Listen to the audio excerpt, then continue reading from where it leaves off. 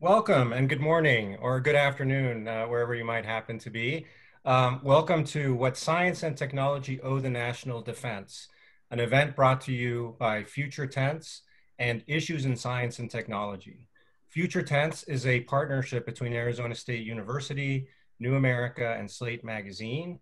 And Issues in Science and Technology is our cousin. It's a publication of the National Academy of Sciences, uh, which is very much on point for the conversation we're going to have today. Um, I'm thrilled to have with us um, Jamie Holmes, who is a Future Tense Fellow and the author of, I have to do the plug here, 12 Seconds of Silence How a Team of Inventors, Tinkerers, and Spies Took Down a Nazi Superweapon. And that is the, the inspirational, the inspiration that the trigger, uh, I won't say the fuse for today's event. Um, in addition to Jamie, I am pleased to have with us uh, Margaret O'Mara, who is the Howard and Frances Keller Endowed Professor of History at the University of Washington and the author of The Code, Silicon Valley and the Remaking of America. Hi, Margaret. And uh, my Arizona State University colleague, um, retired Lieutenant General Robert Schmidle, who is the University Advisor on Cyber Command, I'm sorry, on Cyber Capabilities and Conflict Studies at ASU, having been the former First Deputy Commander of United States Cyber Command. Um, so welcome everyone. My name is Andres Martinez. I am the Editorial Director of Future Tense. I also am a, a, a professor at our Cronkite School of Journalism.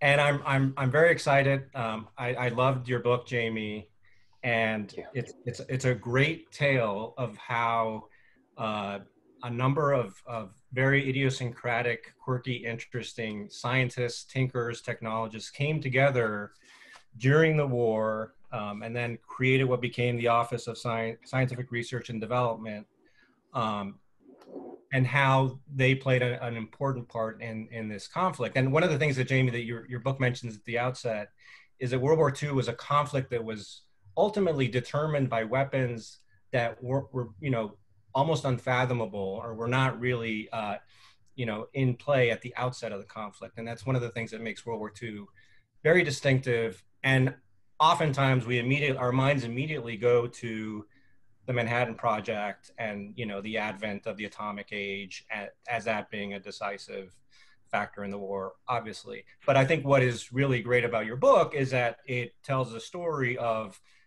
the, scientists being deployed for all sorts of other um, to meet other challenges, and particularly the defensive challenge of. I mean, I, I didn't realize until I read your book that anti-aircraft guns in London during the Blitz were, were mostly there for show. that it was it was for morale because uh, they weren't very effective, and the big challenge was how you know creating the first smart weapon that that you know where you could try to bring down those those bombers and ultimately the drones that the Germans were were sending over over the UK um, a, as a defensive measure.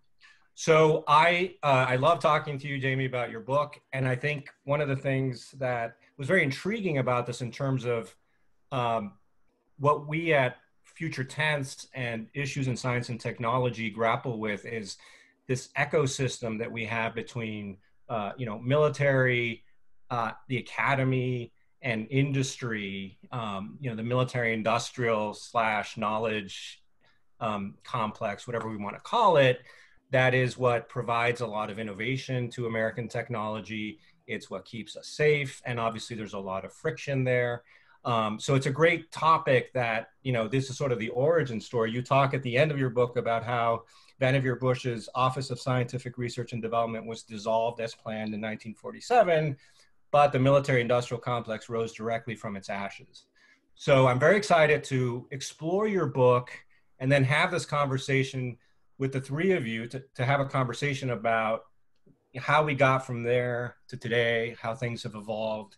And I can't think of a more masterful conductor of that conversation than my colleague, General Schmidle, who has done everything from commanding F 18 squadrons to being on the um, board of the Defense Science, um, being a member of the Defense Science Board, and just operating in this in this br- bridging these three worlds and being engaging with this complex of how do we leverage technology and science for national defense. So I'm really thrilled to, to pass the baton to you, General Schmidle. To our audience members, as you have questions, um, you can, there's a Q&A functionality in the Zoom webinar. I, am gonna keep an eye on those and then at, at, a certain point in the conversation, we'll, we'll pivot to some of those. But for now, um, General, the conversation's all yours. Thank you. Thanks, Jamie. Uh, so if I could, let me echo what uh, Jamie said or what uh, uh Andreas said about Jamie's book. I thoroughly enjoyed it as well.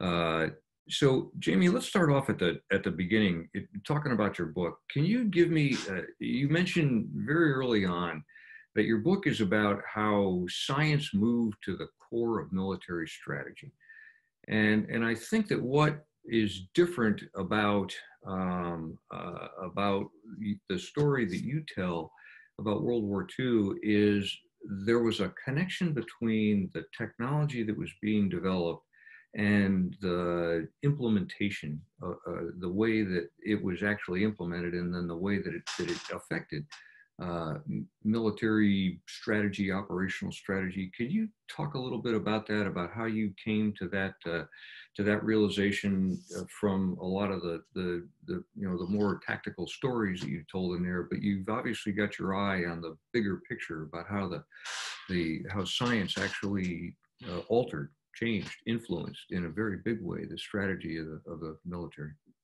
Uh, so thank you very much. Um, I apologize, there's a jackhammer outside my apartment, so I'll be trying to mute, mute that. Um, thank you to New America, and thank you so much to the uh, National Academy of Sciences, and thank you for the question.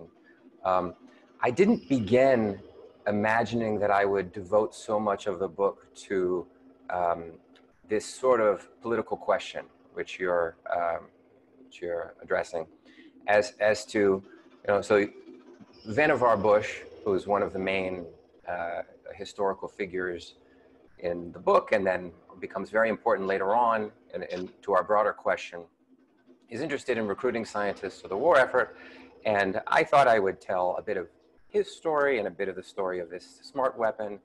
And what I really got drawn into was how he managed um, sort of the bureaucratic and political fights that he got into, particularly with uh, Admiral Ernest King, commander of the Navy fleet. And, and the question, you know, there's the technical obstacles of making new weapons and medicines. And then there's this very interesting larger story, which I felt the book would not be complete uh, without, of how you put these weapons and, uh, into the field and that caused political problems. So on two occasions, uh, prominently, uh, Bush clashes with King on uh, what role scientists should play in actually uh, putting weapons into the field and even military strategy. Uh, there's a case in the Battle of the Atlantic where uh, we've developed airborne radar and Admiral King favors convoy tactics to protect the convoys to England. And uh, Bush believes that the airborne radar has advanced significantly enough that we can hunt these German U-boats from the air um, and has a, a, fight with King about this and then later uh, lobbies Roosevelt to form a joint committee on new weapons in which the idea is that scientists are going to be advising the joint chiefs um, not just on what the weapons can do, but what are the potential strategic um, uh, uses of new weapons. So throughout the story, and I'm sure throughout our discussion, you have these interesting administrative bureaucratic clashes. Um, I think that I saw, you know, we're talking about industry, academia, uh, government, science, military, and it's really at the core of, I suspect, um, our discussion is going to be how do you organize these elements together uh, for benefit and what are the um, what are the outcomes of different types of organization uh, and different liaison between these groups and how they have different cultures and these cultures run into each other uh, and how do you solve the problems that arise from those uh, conflicts. So if I could follow up on that for a minute, Jamie. So based on the, the analysis that you did and the, and the case that you presented in your book, what would you recommend today, let's just say that the future Secretary of Defense uh, gave you a phone call, said, come into the office and tell me what should I do? how how do what are, I mean without getting into the weeds, what are the big thematic things that you could recommend based on what you've seen? You mentioned King and um, and and Bush, and what I took away from that was, and having been lived through the innovation and bureaucracy piece when I was with the Marine Corps Warfighting Lab, there's you just can't ever underestimate the the the power of entrenched bureaucratic thinking. So, uh, based on what what would you tell a future Secretary of Defense? How how can I do this? How can I do? How can I make this organization more agile, more innovative? Uh, so, I think to step back, I mean, one of the themes that is certainly present from the onset of this organization in 1940 and becomes a key part of the debate as to what science and technology owes the national defense as to what is the role of um, uh, basic research and what is the role of scientists in that basic research and to what degree do they have uh, autonomy and discretion over choosing what they should do. I mean, the way that the Office of Scientific Research and Development was set up was, um, we can go into it, but basically um, it's dispersed contracts to private and public universities they're going to do the research at those laboratories or industrial laboratories, but it's going to be directed by military goals. Uh, so the military is going to say broadly, we want better armor, and you figure out how to do it. And one of Bush's main emphases was that in order to come up with radical new innovations, you need a lot of basic research. Uh, so we're going to go back to the beginning. We're going to say, instead of saying, how can we improve, let's say this tank armor, we're going to see, are there other materials that we can use? We're going to ask fundamental questions. And that's going to allow us to come up with radical new innovations. Um, and, and Bush believed, and scientists believed that there were enough breakthroughs, scientific breakthroughs in the 30s that hadn't been harnessed and that they felt the existing Army and Navy research laboratories were not going to be able to uh, uh, handle. Um, so a heavy emphasis on basic research, independence, decentralization, um, and then after the war, the question becomes when the Office of Scientific Research Development sort of becomes um, the National Science Foundation, the question is to, well, to what degree are the scientists going to have autonomy in uh, picking what research they're going to do? So to me, this is kind of the fundamental question. Like you, you can, you can, ha you can have uh, leveraging existing technologies that are being developed independently. And what does that pathway look like? And then you can have the model in World War II, which is you're, you're having scientists which are given directives and it's much more focused and controlled. Um, so that's, I don't know, that's maybe a beginning of, of a discussion. Great. Um, so the, the, the next question that I have, and, and, Margaret, if you could, I'd like to like you to respond to this. Um, today, in the Department of Defense, we are spending, we, the Department of Defense, is spending far, far less on research and development for military applications uh, by orders of magnitude than we were in the 1980s, in the early 1980s, late 1970s. More and more of the, of the research and development which is now kind of that fine line between basic research and applied uh, uh, research, is being done by the commercial sector. And more and more you hear conversations in DoD about leveraging commercial technology and what they're creating. So, Margaret, in, in your book, when you talk about the development of Silicon Valley, you know, one of the one of the more interesting parts of all that, and one that I was not as aware of, is the extent to which the US government fueled the growth of Silicon Valley. And, and, and that was before people became, uh, shall we say, some people became uneasy about the kinds of things that the government was asking them to do. So, Margaret, if you could, how do we balance this commercial uh, research and development, whether it's basic research or applied, with the needs of the of the U.S. Uh, Department of Defense, and and specifically examples from what you talked about in, in Silicon Valley and its mm-hmm. growth, which is very much, although initially maybe fueled by government expenditures, clearly the examples that you give at the end with Apple and Jobs and others are more commercial applications that now the U.S. military is trying to figure out how to how to modify potentially and use them. Can you uh, give us your your perspective on that? Yeah. Well, the, the, the process that Jamie writes about in his book during the war is uh, quite literally Bush was the father of the father of Silicon Valley, or maybe not yeah. literally, but his um, uh, that, that this this whole structure has an after a Cold War afterlife becomes the model for the military industrial complex to come. And you're right, this this um, this entire you know the, the beginning why is why is this industry in the santa clara valley of california which was an agricultural valley up until then?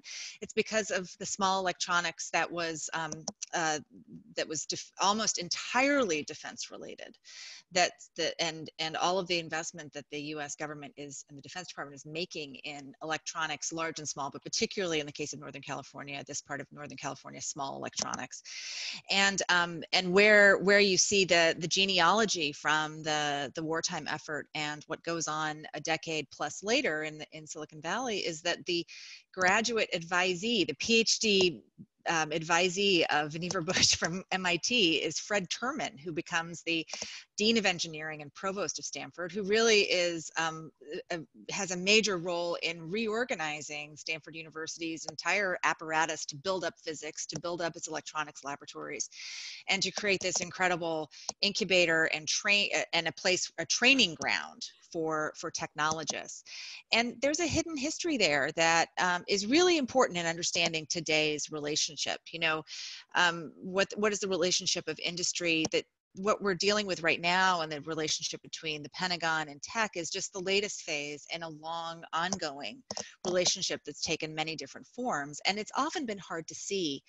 I like to tell the story of Fairchild Semiconductor, which is the kind of the the original startup. This is this is the the original silicon semiconductor um, startup whose co-founders included the people who went on to look uh, to the founders of Intel, other semiconductor companies, of Kleiner Perkins, which is a major venture capital firm in the valley that has been behind just one blockbuster after another, generation after another this company which is kind of put up as a model of this is this was the beginning of the, the silicon valley startup entrepreneurial story its book of business in the first years of existence was majority governmental and majority defense. And that's something that's not because that's where the business was you know no one else is buying integrated circuits other than other than the government.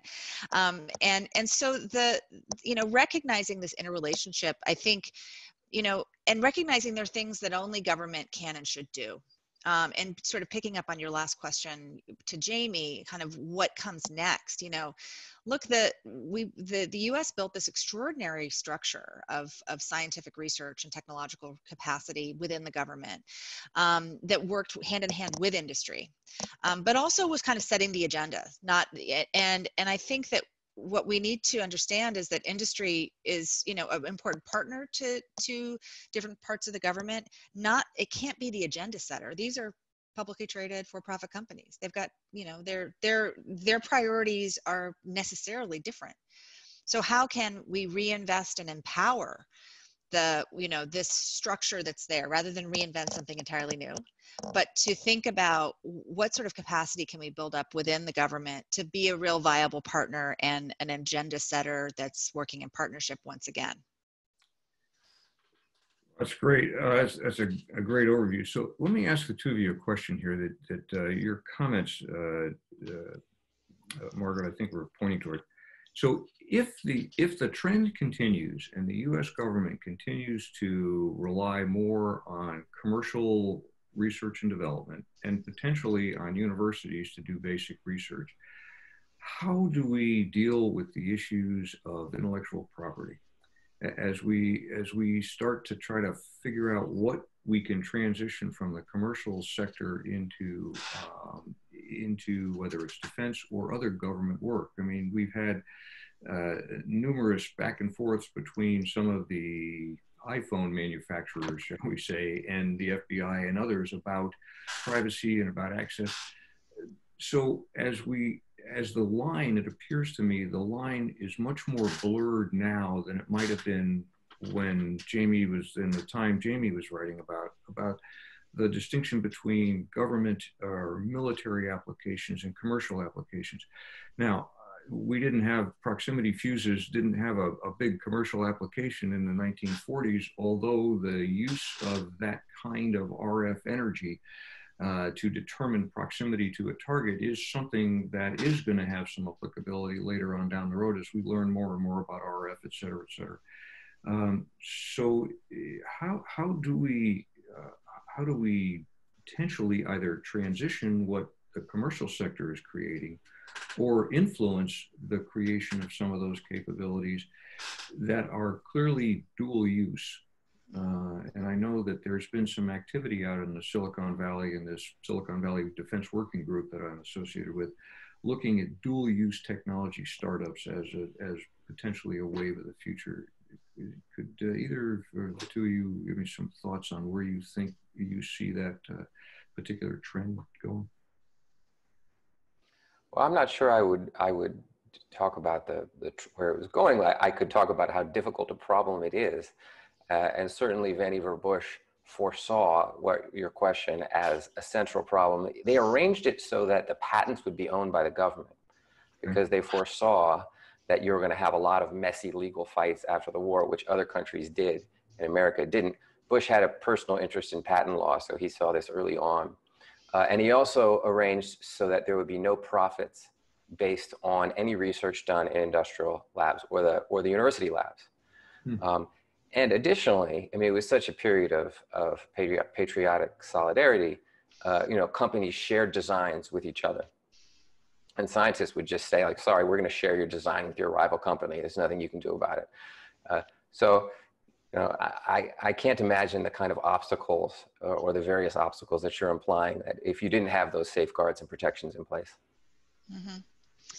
Yeah, and I mean, it's a really, it's a really central question. Um, and and the you know i think one of the ways to think about it though too is that what is you know what makes um, what are the components of a tech ecosystem? You know why why has the united states uh, you know been able to produce the technologies both military and civilian um, commercial and governmental and academic since you know since the 1940s it's not just a matter of the technology itself. It's also a matter of the of this the people. And the and you know one of the things i point out often about you know um, tech transfer which is the sort of process through which the, the inventions that are conceived of and, and developed in university labs are can be commercialized.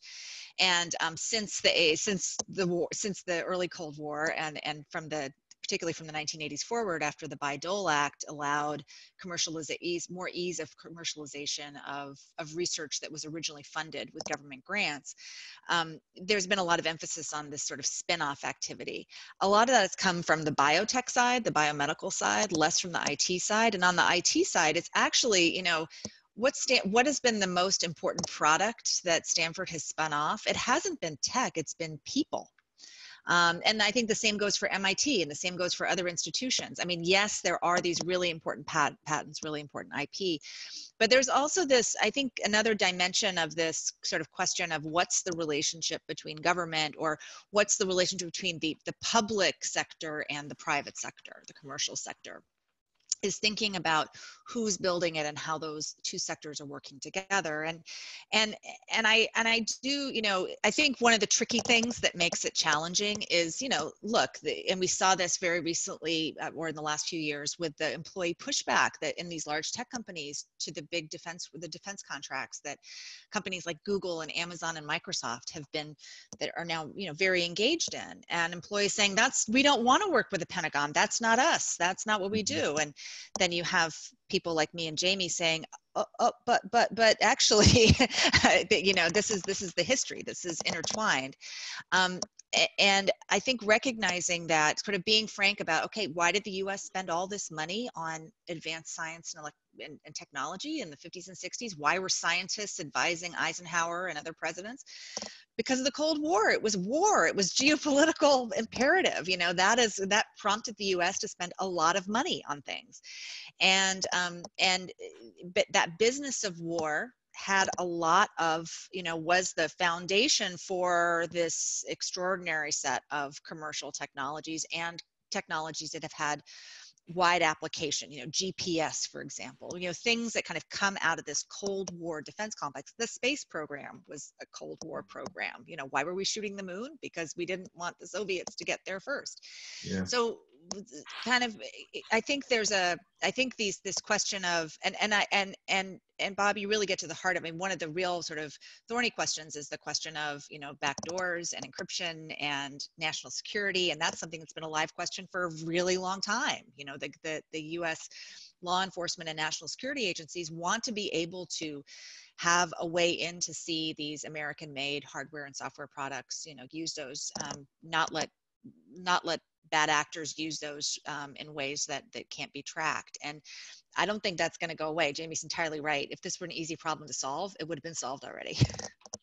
Yeah no kidding. So um so let me pick up on that just for a second on two things that you just mentioned. One of them was this this imperative that the business of war of the cold war was one of the reasons why science had had risen to such a, a, a level of visibility if you will among the senior politicals in the country there are those that would uh, that would suggest that today we are entering into another existential um, competition with China that is not solely military, but that is technical, is economic, et cetera, et cetera. And as we look at how the United States is postured to deal with that, it would seem to me that, uh, again, picking up on something that uh, Jamie mentioned in his book about the relationship between Bush and Admiral King, it's not just the scientific content, that it's not just the science itself. And we see this now in all manner of things we're dealing with, COVID related. The science is a part of it, but the execution of being able to execute inside of bureaucracies that have, uh, in some cases, very tribal structures, that finding a way to do that. And Bush did. He eventually went around King to, to Roosevelt, convinced Roosevelt, and Roosevelt came down on top of him and said, no, we need to do this anybody on the outside looking in would have said, "You're kidding me, right?" I mean, you can detect these periscopes of these submarines and the and the conning tower. Why would I not use that? But there's an embedded way of doing that. So I guess what I would what I would uh, would ask the two of you to respond to is the first question from the research that you've done separately in these books. What did you conclusions did you come to about innovation in bureaucratic organizations? About how to move forward uh, in some cases in the valley from nothing and then having to deal with the companies as they created their own bureaucracies.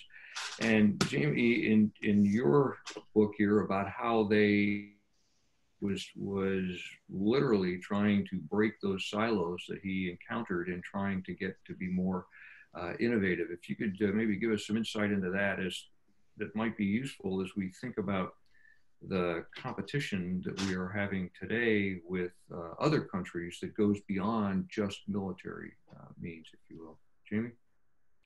Uh, sure. Uh, and then I want to ask you a question, Margaret. Um, yeah, I think, you know, as your first question alluded to, it really is an organizational story and an organizational triumph. Um, and you have these connections with people who aren't used to talking with each other. Uh, you've got the scientists and the military. And one of the funny stories that I tell in the book is that one of the characters who created this smart weapon, Merle Tuve, he starts swearing a lot because he's he's yeah. trying to sort of blend blend in, and, and then he stops swearing completely after the war. He had never. So that's you have these these um, you know profession groups with different professional cultural backgrounds and you need this strong uh, liaison between the military and the scientists, and that was facilitated uh, in the book by this uh, sort of brilliant Navy guy named Deke Parsons. Um, and then you have to have the scientists and the industrial partners. And you know, at one point uh, in making this smart weapon, the, the head of the program sends someone to live with the, with the industrial liaison, and he lives at his apartment. um, so I think that um, you know, they were very aware of how these human um, connections across these uh, sort of different cultural backgrounds professionally were going to be the core of success. And when there was an analysis of why Germany was unable to build this uh, smart weapon. It was for the very reasons uh, that we're discussing. There's a, there's a report in 1945 where uh, they say that the Germans had, quote, too little liaison between laboratory and factory and between technician and military, practically no employment of pure scientists. They're not doing uh, basic research, not enough basic research, dispersal of effort in too many directions, dissent, distrust, and little sense that the country's war needs were primary. Uh, and another report concludes that apart from their aeronautics research, the Germans failed miserably in availing themselves of their scientific, uh, we'll say, uh, hmm. brain power. Uh, so I think it really, it really is um, about these, um, these organizational uh, connections between these different groups. Jamie, did you want to ask Margaret a question before she? I did, sure, I, I, but I don't want to change the topic. If you had a response to that question, Margaret. Well, I think I think you're exactly right, and I, I think you know when we look at you know where does innovation happen within bureaucratic organizations which you know to be clear can be both public private and private sector and academic you know all sectors have bureaucracies and and one can argue that you know in the tech sector now dominated by five extremely large companies um, which you know i think it's a constant struggle to keep their kind of innovative you know soul mm-hmm. when you're within a very large company but what's the real distinction? Where do we see these breakouts? It's leadership. And i think the you know the example of bush going all the way up to franklin roosevelt who's like yep this is what we're doing. Um, and um, you know leadership can can cut a lot of ways. It can it can be leadership for good or for bad. But i, I think a great example is that of um, the internet itself right? Which comes out of darpa the defense defense advanced research projects agency um, and is the product of you know a, a, couple of people pushing through, you know, convincing the, the their military bosses to allocate a million dollars to create this academic computer network that's mm-hmm. connecting these, you know, these folks who have these different, you know, um, government grants to so they their computers can communicate with one another. And then there is the beginning of you know 1969 of what the arpanet that becomes the internet that becomes mm-hmm. everything. And and that is the you know there we have leaders within a bureaucracy. Um, and DARPA is a great example and continues to be a, you know, as you all know, and I'm sure many people on the line know, a really critical, critical uh, funder of truly advanced research or blue sky research, the one that becomes even more important as time goes on, as funding in other parts of, of the discretionary budget go down. The Pentagon's budget's pretty pretty okay, even in the 80s and 90s, as the rest of the U.S. Um, discretionary spending is more you know it's harder to hold on to um, the same levels of spending for the nsf and, and other and other research agencies and uh, and that's you know leadership is a big deal it, it makes a big it's a big deal who's in those within those organizations large and small who are pushing and making something happen. So before jamie before i jump to that question so real quick so one of the issues with the budget in the pentagon and, and unfortunately i have a, a, a great deal of experience with that. The um, as the the amount of uh, the percentage of growth every year in personnel costs far exceeds anything that we spend on science and technology. And when we budget in the Pentagon, we budget for inflation, right? And a couple of percent a year. But, the, but at the end of the day, in really gross numbers, if the Pentagon doesn't get 10% a year of a budgetary increase, it's a net loss. And when the net loss comes about, unfortunately, one of the first things that people look at to start trimming money from is science and technology, is the S&T budget. And the money tends to go into programs. What are we building? Can I can I buy another ship? I don't care if it's manned or not. I don't care how big it is. The Navy's got to get to 355 one way or another. So we're buying ships, we're buying airplanes, we're buying tanks, because that's kind of how kind of kind of what we know how to do. Um, so that's that's not a positive thing by any means, but that is is another reason for the increased focus on commercial science and technology and research and development work that's going on. With regard to DARPA, interestingly enough, I uh, was on the phone last week with one of the PMs who is looking at a, a program managers who was looking at a, uh, a program that would use uh, advanced general AI in um, command and control systems utterly fascinating. And so uh, it's still in the very nascent stages, but it's something that I had experimented with 20 years ago inside the Marine Corps and scared the children so bad that we didn't go back to it because the agents that they were developing at the time in 99, 2000 were very, very nascent algorithmic agents, but it was not difficult in the command centers that I was setting up, which had 50, 60 people in them, big science or modeling and simulation run. It wasn't difficult to see where this was going to go, to see how quickly the agents were able to give my staff and myself options, whether they were planning options or looking at us to determine how we were making decisions, what the enemy was doing. It was really in, at the very nascent stages. So those are just two quick observations on, on, on what you just said. And the technology, the budget piece requires constant management and leadership by somebody to protect that, that part of the budget. Uh, DARPA's been relatively successful at keeping its its little slice of the pie, but it, it becomes more difficult as uh, as the budget comes down. So, um, any rate, Jamie, you were going to address a question to Margaret. Yeah, no, I just think one of the uh, sort of the an interesting theme for us to discuss is to what degree there's um, there's strong support uh, for these collaborations. You know, in World War II, there was really no hesitancy. There was some regret of scientists who felt that they shouldn't have been involved in, let's say, the Manhattan Project or, or even the Smart Fuse, but very little. Um, and you know, there's one person who worked on the fuse, he says in 1940, uh, all of my colleagues had the same feeling. The America First idea had no, had no support among the scientists, that is the isolationist idea.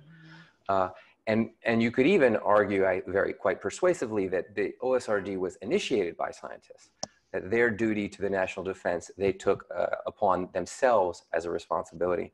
And one of the interesting stories, and Margaret, maybe you can, maybe this would be something to talk about, is you know it, this idea of responsibility almost feels like it runs into the story that Silicon Valley likes to tell about itself. Mm-hmm. Silicon Valley has an idea that it's it's independent, and that you you've shown that actually it is quite dependent. And and maybe there's something there's interesting about these two stories and how they're conflicting now. Mm-hmm. um, i don't know.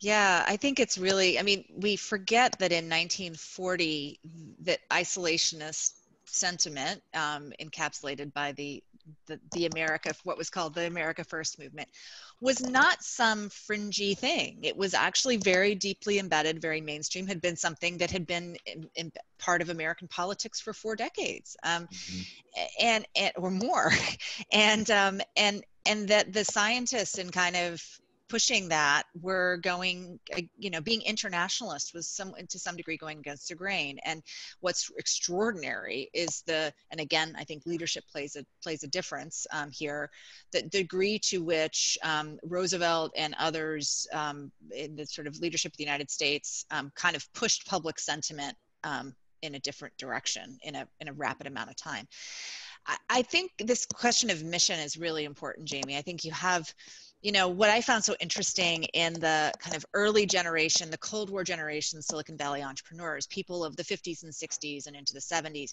um, people like for example bob noyce co-founder of intel is one example of, of that uh, people like um, dave packard of hewlett packard.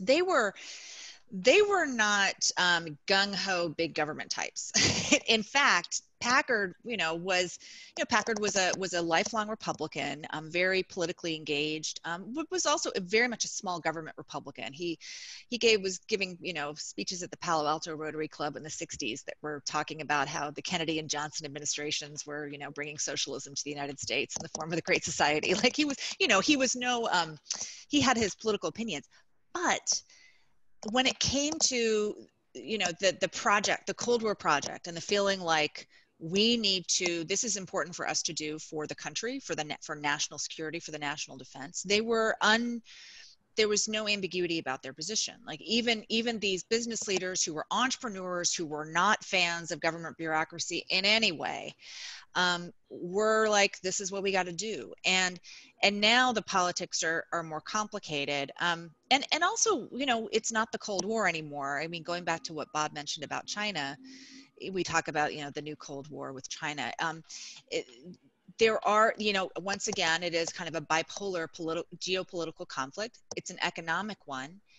And it's one, I think, on the tech side, is it's just distinct from, say, remember, you know, back in the Cold War, the Soviet Union and the Eastern Bloc built an entirely separate computer system. Like computer software and hardware behind the Iron Curtain was entirely different and separate from, from that built in the United States and other parts of, of the so-called free world now you have you know here i am you know here's my iphone assembled in shenzhen here's um, you know here's mm-hmm. we have these you know 5g all of these technologies are totally interrelated supply chains that are totally interrelated and i think that is another thing that makes this question of whose side are you on and america first or the world first or kind of it is not a it's not an easy it's it, it makes it a more complicated for i think for scientists and technologists and all of us to figure out you know what's the right stance to have it also seems to me that it, it muddies the waters on the uh, on this issue of uh, the, the moral trepidation that some folks have about supporting the department or not. And Jamie, at the very end of your book, you you uh, you bring out a, a, an interesting um, anecdote there where you talk about the there's a conversation between two folks about the fuse and the scientist and I can't remember the exact names or details. Christmas, I think was his name, talking about how the you know he was not uh, he was having second thoughts about the development of the fuse, et cetera, et cetera. And as you, if I recall, as you finish the book, he's in a conversation with a survivor of the Battle of Bulge with Army, uh, who saw the world very, very differently and saw what that fuse did to, to literally save American lives and, and help in that battle. But I think, as, as Margaret points out, that uh, that binary distinction is not something that we are, are fortunate enough, for whatever reason, to have today. That it's much messier and it's much more intertwined, and we see that uh, particularly in the roles of uh, of artificial intelligence. It's one of the, it's kind of one of these most talked about, least understood things inside government. Um, and we constantly confuse in the conversation different types of AI and what they could or couldn't, you know, and, but everybody is trying to find this, uh, trying to find the answer to, well, how do we morally deal with this? And, we've we the conversations we've had with regards to all of this technology and and even in the valley that margaret the things you you mentioned you know people in certain companies say well we don't want to work for the government. We think that's morally wrong. And you know and, and jamie with the examples that you gave in there you know even i mean the the, the bomb didn't really become the big public moral issue until after we had uh, we had dropped it. Um, so I, I, don't, I don't know. I mean, as we, you all have some thoughts on how, is there something that, for example, is there something that science can do to uh, inform this conversation in a way that might be useful, as opposed to metaphysicians that might want to inform the conversation? Mm. Yeah, I think it's a great question. Um, I mean, you, it becomes clear um, if you look at you know, the kinds of uh, weapons that they were developing and, and thinking about developing. It, it's it's not really the choice of like, would we like to do this? That's not the question. It's it's this is probably happening somewhere else, so we better be ready for it. Um, in that context, uh, it, it's sort of I mean, there's an amazing um, quote which I didn't put in the book, in which uh, one of Bush's researchers quits on moral grounds. And Bush writes him this uh, remarkable letter in which he says, um, I think your position is untenable. If you could get, you know, the Axis scientists to quit too, you would have a strong position. But you, really what you're suggesting is that we let other countries' scientists contribute to the national defense and our scientists will do nothing and they'll run over us and you know my son is at war and they'll I'll leave my son unprotected. And he says, You may be able to join Gandhi in such a point of view, but I am not. uh, so that's sort of my, my takeaway is, is that um, this isn't this isn't a, a, you know a moral position on on cooperation isn't shouldn't it can't be a statement on on the world as you wish it as you wish it to be mm-hmm. that's a great uh, point and i think it's it's a uh, I think that the one of the things that's uh, you know an imperative for this conference this is happening. And so our scientists and technologists going to engage in it. And look there are a lot of things in the you know past tense um, uh, you know the military industrial complex did not there, there are a lot of reasons a lot of people turned away from it um, it did not you know there were many many many mistakes um, and and many tragedies. And so how can we think about a new sort of next generation um, partnership across different sectors? And i think government broadly defined not just national security but, but but all parts of government that are thinking about a broader public good and and also bringing scientist voices you know the science the science community and the technology community is much more diverse than it was in the 1940s and 50s mm-hmm. and so how can those voices you know those people those experts and that expertise be taken seriously and weigh in on the great challenges before us that are multiple and demand scientific expertise and organization Hello again. Um, I just want to chime in uh, with some of our audience questions. This, this, has been such a great conversation, and this this uh, theme that, that, that, you were um, you all were were fleshing out right now about the the, the attitude of the uh, scientists, the technologist outside of government in terms of their you know what what we what they owe the the national security and the government. Um, that's been a, a a theme of, of several of the questions that we've gotten. And, and one of the, I mean, one of the things that I was thinking about as you were talking too, to keep in mind is that with globalization, things have shifted to the point where it's not entirely clear what the nationality and identity is of these corporations. And, you know, right, when World War II comes, it's, and the CEO of General Motors, uh, I never know if I'm supposed to pronounce it Knudsen or just Knudsen, but, you know, he famously goes and works for the administration for a dollar a year or whatever. And, and there's no there's there's the the the nationality of General Motors is not in question, right?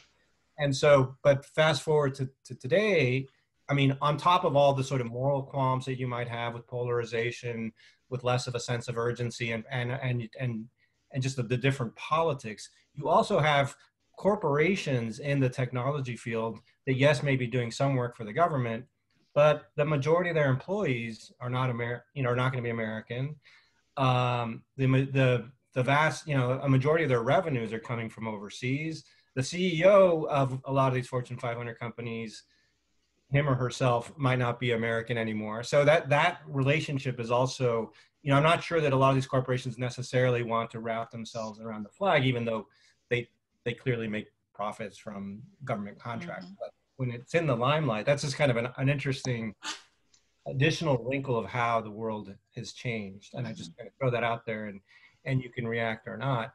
Um, but uh, let me let me touch. We have one one viewer is asking again on this theme. Um, how do you think we can rebound from the war fatigue and the political polarization that has led millennials, uh, many of whom work for the Googles, Facebooks, et cetera, um, you know lead them so they can potentially recreate a culture that prioritizes work prioritizes working with the government on technology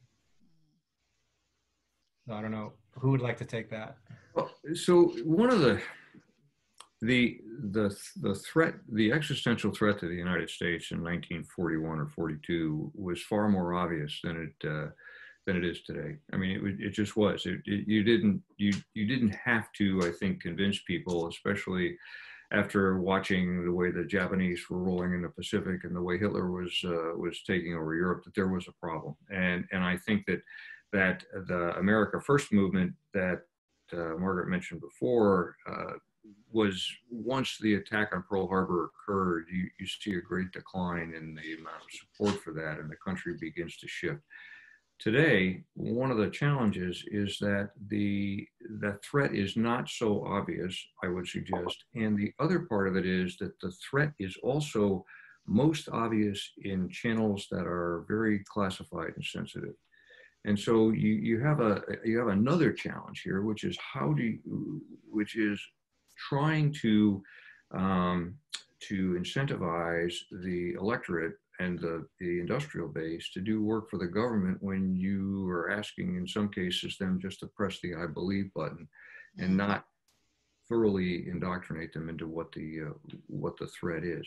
Now, there's a great uh, uh, thing in Jamie's book here where he points out where one of the folks that's out there, I think it was Van Allen, that's trying to get the Navy to use this fuse technology, tells this admiral in very classified, sensitive detail exactly how it works. And he makes a decision on the spot to do that because he feels that if he doesn't, he's not going to have the support of this admiral and he's not going to be able to, to implement the fuse. So, and we see that that successfully works, right? So that I think is part of it. The other piece of it is that we, the the Googles and Microsofts and Amazons, and again, I'm looking at this from from a hundred thousand feet here. In many cases, uh, behave as if they were nation states, and yet we deal with them as if they were wholly owned subsidiaries of the United States, and that they ought to do this for us because their headquarters is in Washington State or in California when in fact, as you mentioned, many of their employees are not. And in many cases, the employees feel more loyalty to that company than they do to any particular country. And so um, this is a, you know, trying to unravel this Gordian knot is, is going to be, uh, is going to be very difficult. But I think it starts with uh, an understanding that there is a threat and the threat is here and here's what it's doing. And, and I'll leave you just with one last thing. It's become more evident in the last couple of years exactly the extent to which the Chinese had been stealing intellectual property and infiltrating the US defense industry and other parts of the United States that had been um, than had been publicly known prior to that. And you see that once that gets out there, that there begins to be more of an understanding that okay, so these economies are intertwined, everything's intertwined, but we still have a problem here that we can't, eh, we, that we can no longer ignore. And to think that because they're intertwined means that there's not going to be a conflict has been disproven many times over. And if I'm not mistaken, 1910, 1911, the best-selling book in Europe was called The End of War, and uh, and it was based on the premise that the countries at the time were so intertwined economically they'd never go to war again. Right, three years later, we're killing hundreds of thousands of each other on, in the Somme. So, um, anyway, that's just kind of my perspective on that. I want to also turn to a question from Jeffrey Alexander, um, who asks, uh, this is interesting, historically, a huge impact of defense on U.S. science was DoD funding of graduate student research training. That funding has declined in recent years. Has this affected how national defense contributes to U.S. innovation capacity? And is anyone worried about that decline? I'm worried. I mean, one of the things that makes so there are two things that made the helped make the American research complex broadly defined the juggernaut that it has been. Like, why is the US, why is the US overwhelming leader in the tech space? Um, one is investment in higher education, um, public investment at the federal and at the state level, making higher education, ex, you know, world-class higher education affordable and accessible.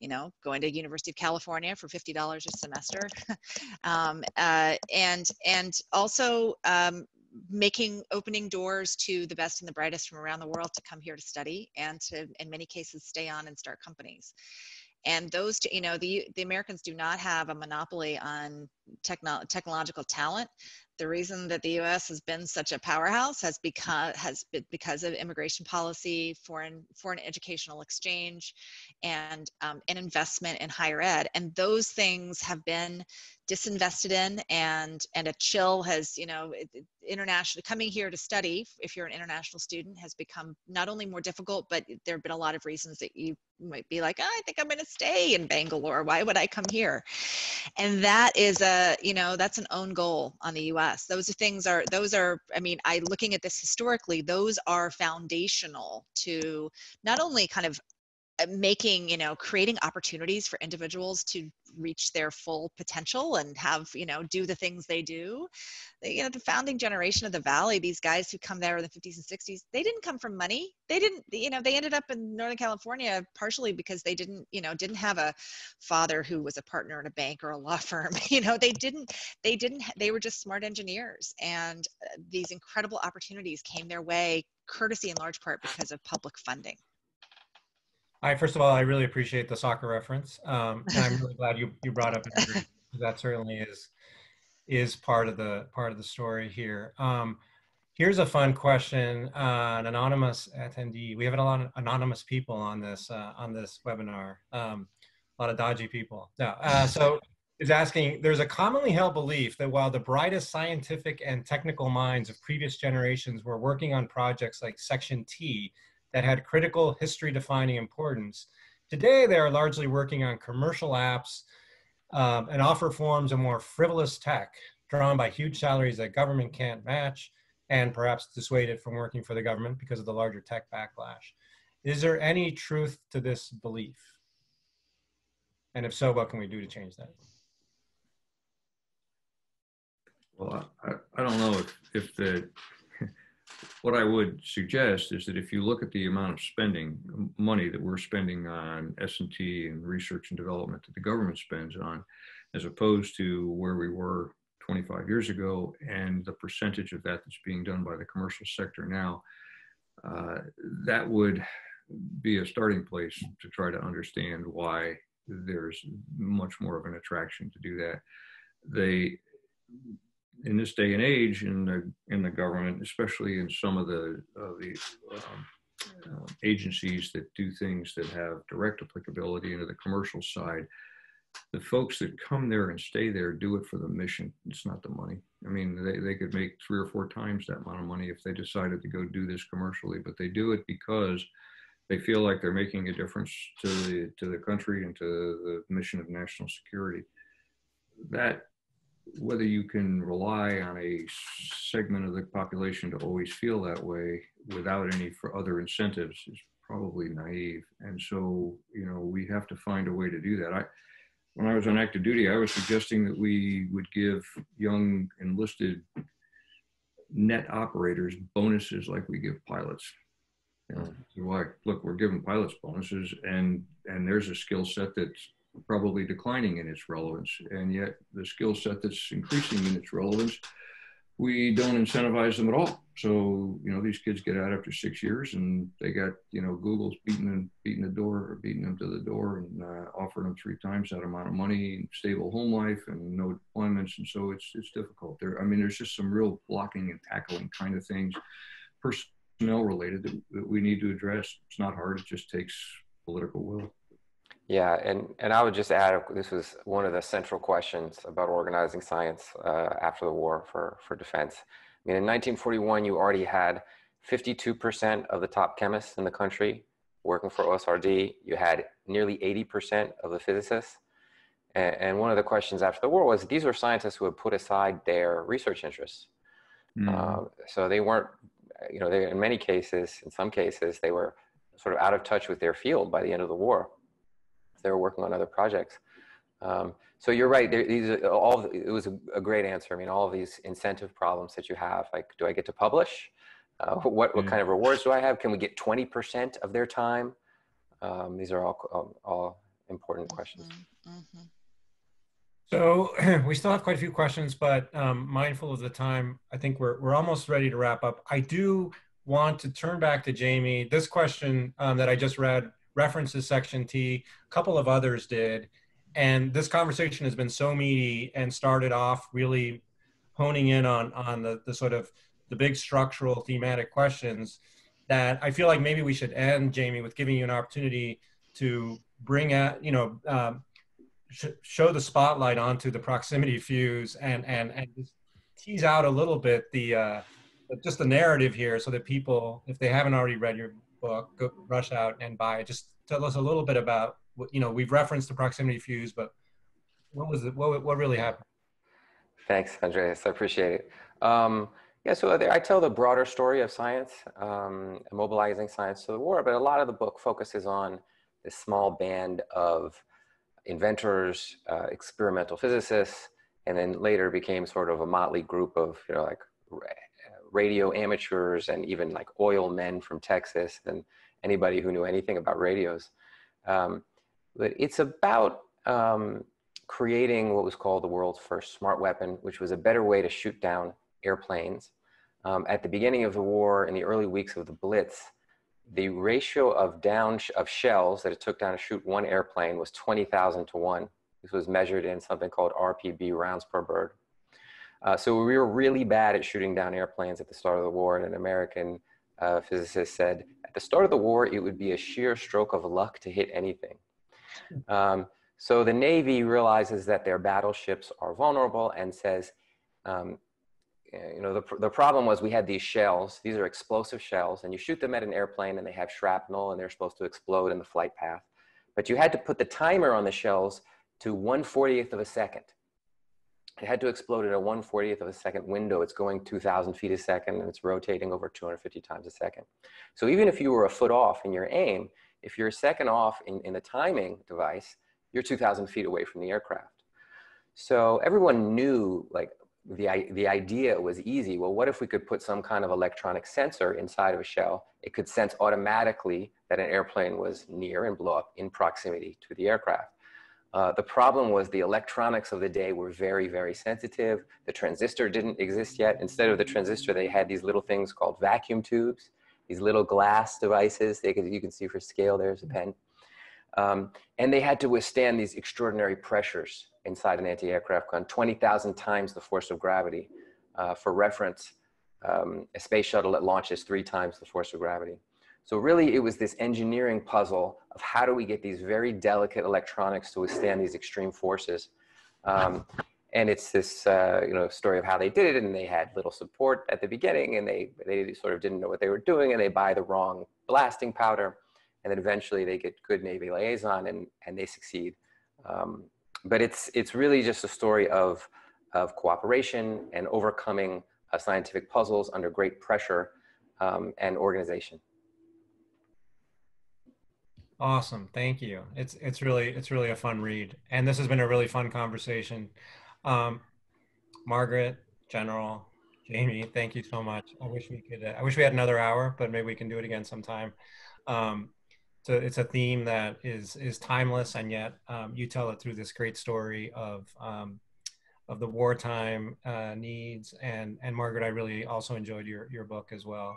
Um, on the, the birth of Silicon Valley. I, I, I, first heard you in conversation with Kara Swisher, which is how you you came up on my radar, and I was like, how have I not read this book? it's, it's, fantastic, and it's and now out in paperback.